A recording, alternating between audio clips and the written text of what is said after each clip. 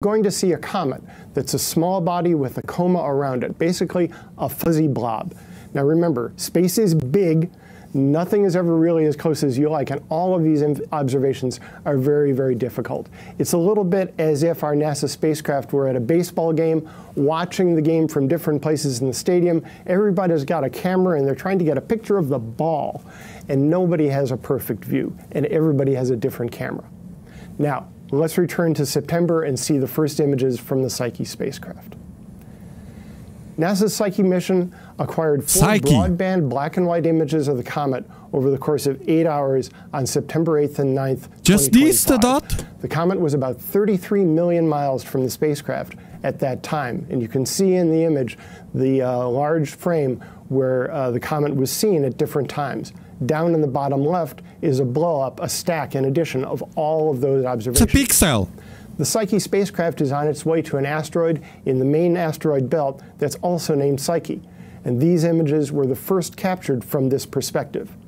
Now, if you think in that lower left you're not seeing very much, just wait a minute, you'll see more. Now, the following week in September, the Lucy spacecraft observed the comet from the opposite direction. So let's take a look at the Lucy image. Lucy. This is another broadband black and white image made by adding up a series of individual exposures that were taken on September 16th. Lucy is on its way to study asteroids that share Jupiter's orbit around the Sun, called the Trojan asteroids. So that Lucy was 240 million miles away from 3I Atlas, which is circled in the center, when its high-resolution LORRI camera caught the comet. You can see the comet's coma, the fuzzy halo of gas and dust surrounding 3I Atlas, and its tail, a smudge extending to the right of the comet. What if tail? you were the Lucy spacecraft looking at the comet from this angle, the sun would be a little bit over your left shoulder, and so the comet tail is pointing away what from tail? the sun, as we've seen many times before in solar system comets.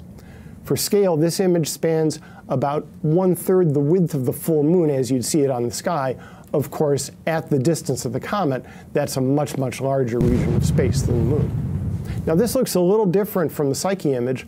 Part of that is because the cameras are different, and part is because of the ways the Psyche and the Lucy teams decided to show their images. But also, it's because we're seeing the comet from different directions seeing a comet's coma in different lighting geometries with the sun coming from different directions is one of the key ways to learn about the physical properties of the dust that's been He's reading. off the surface.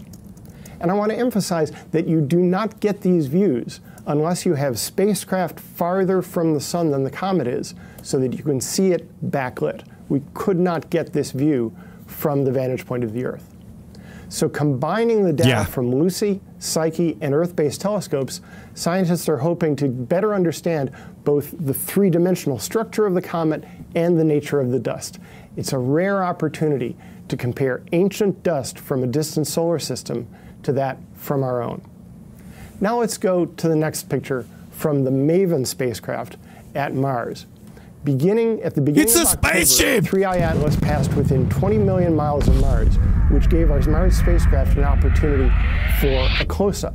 And earlier you saw the image that Ahmed shared from It's a freaking spaceship! Orbit. MAVEN is another Mars orbiter That's that not has the comet! the Martian atmosphere since 2014. Now, this picture is not a direct picture of the comet itself. It's a spectrum.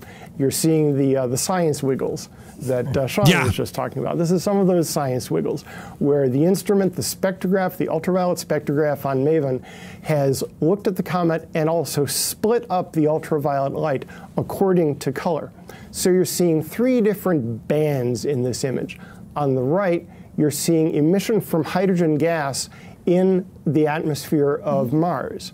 Uh, in the middle, sure. there's a fainter band uh, indicating that's coming from uh, hydrogen gas in interplanetary space. And on the left, that blob is the signature of hydrogen gas coming from comet 3I Atlas. Spaceship. It's a little blob rather than a big streak because it's a freaking spaceship object in the sky relative to great big gigantic Mars and interstellar space that fills the entire field of the instrument.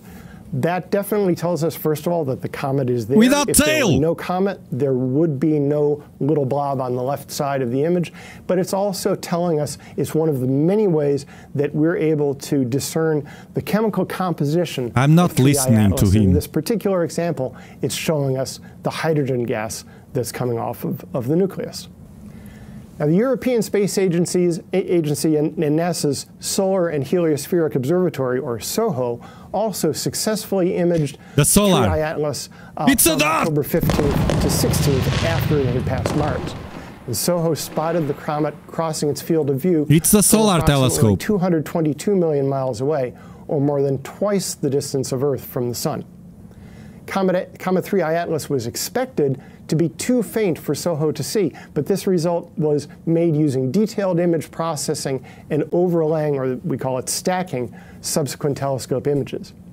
This image highlights the value of spacecraft and instruments designed to look I don't you directly sleep. toward the sun, as Nikki was saying before, not only to study the sun, but also to have the ability to see other objects crossing, in this case, behind the sun. It's a freaking telescope's point of view spaceship. Say, well, do you This was the first one. And they'll say, why don't you Mars you try it and you reconnaissance say, mission. that's really different. And It's HiRISE, well, you're right, man. It's a crap, man. From someplace else. It was a different environment in Sumatra. Now, does that, You're right, does that one man. sip of coffee tell you everything about the weather in Sumatra and the soil and the people who What did I say to coffee? you, man? Uh, bless them. They chose the worst of course ones. not, but it's but it's different, and yet it's still coffee, and that's what we have in this case. We have uh, a cometary body. It behaves. It You're right, man. My apologies. You're right. It's we have in HiRISE. our It says system, here. And yet Mass it's reconnaissance. different in HiRISE. ways. It does the same thing comets do. Comets do. It evaporates carbon dioxide gas. It evaporates water. Um, but there's it's evaporating more carbon dioxide compared to Game water. over So for them. A very interesting thing. Comets, uh, uh, kilometers per second. So what is that? That's about 25,000 miles an hour, I think.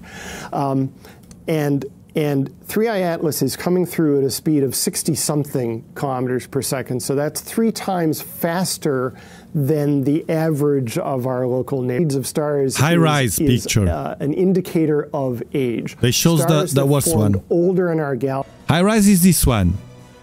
I thought they were going to do the, the best one for. Guys, honestly, this. I thought they would uh, do it better. You know what uh, I felt? You were saying they are sad, they are th- this and that. Exactly, man.